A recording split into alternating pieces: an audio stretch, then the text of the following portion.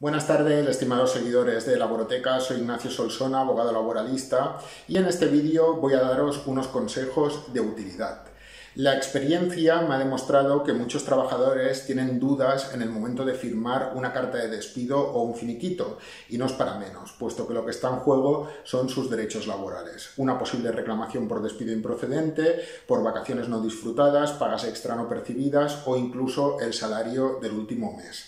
En este vídeo voy a explicar cómo firmar correctamente esos documentos sin poner en riesgo vuestros derechos. Si os sirven mis consejos y os gustan mis vídeos, os invito a suscribiros a mi canal de YouTube. Yo os ayudo con vuestros derechos y vosotros me ayudáis a hacerme crecer este canal. Kit Pro.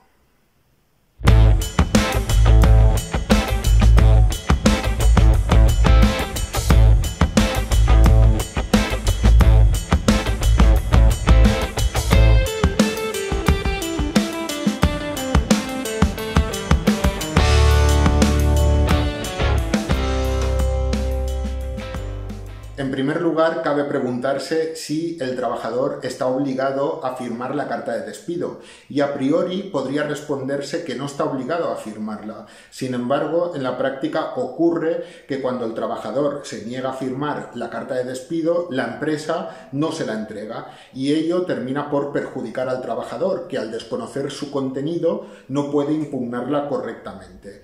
La empresa justificará que no ha entregado la carta de despido porque el trabajador se ha negado a, recibirla y ello lo hará mediante la firma de dos testigos, habitualmente compañeros de trabajo que acreditarán que efectivamente el trabajador no quería recibir esa carta de despido.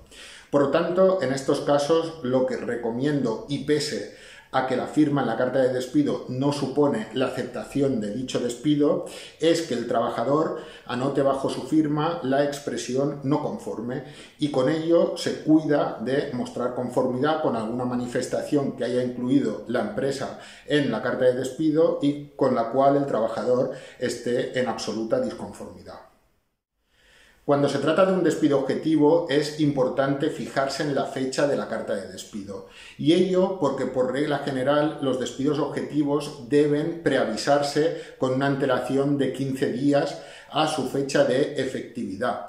El incumplimiento de ese plazo de preaviso supone la obligación de la empresa de indemnizar al trabajador con tantos días de salario como días se han incumplido de preaviso. No serías el primer trabajador al que le entregan una carta de despido objetivo con una fecha anterior a la de su notificación. Eso lo hacen las empresas para ahorrarse la indemnización por falta de preaviso. Si la fecha de la carta de despido no coincide con la fecha en la que te están entregando dicha carta, bajo la firma debes anotar la fecha real de entrega. Con ello te asegurarás la reclamación de esa indemnización por la falta legal de preaviso.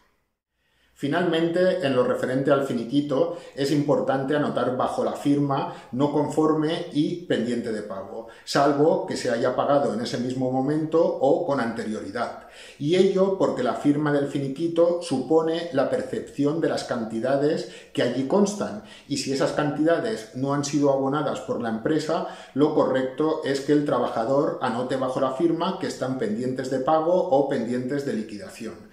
En cuanto a la expresión no conforme, el motivo de la misma es que muchos finiquitos incluyen cláusulas de renuncia a futuras reclamaciones, unas cláusulas que en los juzgados no tienen demasiada validez. No obstante, como allí se hace constar que el trabajador se tiene por saldado y finiquitado y no reclamará nada a la empresa en el futuro, si el trabajador no está conforme con esa manifestación, lo correcto es que bajo la firma anote que no está conforme.